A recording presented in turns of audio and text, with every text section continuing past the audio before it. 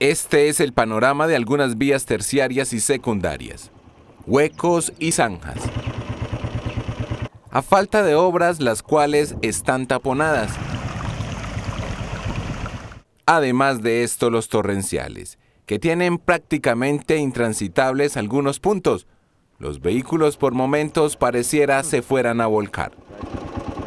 Vemos, por ejemplo, en la, en la vía Urrao, Caicedo, que los desagües, las obras están completamente taponadas por el mismo problema, o sea, unos, unos aguaceros grandísimos, entonces barren todo el material que hay en la carretera, todo ese material va a dar a, las, a las cunetas, las taponan. Lo que sí hay que aclarar es que en época invernal no se pueden seguir haciendo los arreglos de las vías, porque todo arreglo que se haga en, en época invernal, pues si uno eh, organiza y echa el material o el balastro a la vía, con el aguacero de la tarde eh, se pierde el trabajo que se haga en la mañana. En plena ola invernal resulta casi imposible mantener las vías en buen estado, pero aún así se pueden hacer trabajos de mitigación en los que las comunidades y la administración podrían unir esfuerzos. Lo que sí estamos haciendo es que se han presentado numerosos derrumbes dentro del territorio del municipio de Urrao, los cuales eh, se han eh, eh,